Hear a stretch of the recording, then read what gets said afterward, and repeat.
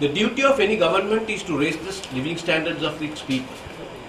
In doing so, the governments cannot be permitted to act in a dictatorial manner, especially with regard to foreign involvements where the country's assets, environment, and security of the people, whether it is economic wise, education wise, health wise, or job wise, or for that matter, any act that jeopardizes the living standard of the people. I wish to state from our own experience in the free trade zone Katunayake, today you can see women workers having a tremendous difficulty with regard to water. We see women going with 5 litre bottles of water after work to their boarding houses as all the wells in and around free trade zone have dried up or not usable due to chemical mix in the water. From where have these chemicals come? All the factories in and around the free trade zone and inside the free trade zone.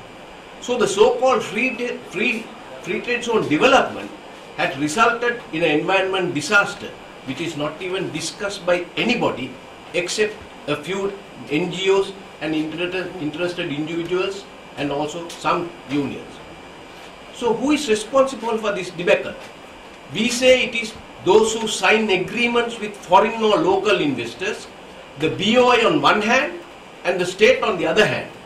Who is accountable to this environment disaster that continues? No one. The people in the area cry and are helpless. Therefore, any agreement, we say any agreement should be transparent, beneficial to the people, unbiased and open for discussion and changes. Therefore, a national policy as canvassed by the patriotic organizations like the GMO A is a must for the best interests of this country.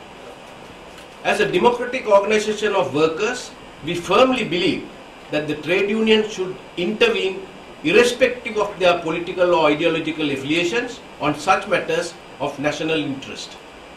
We wish to place our credentials before this commission as to a trade union in order to understand our reasoning with regard to our stand on this important subject of international trade agreements. I don't want to explain everything because I have a written document which will be given to you.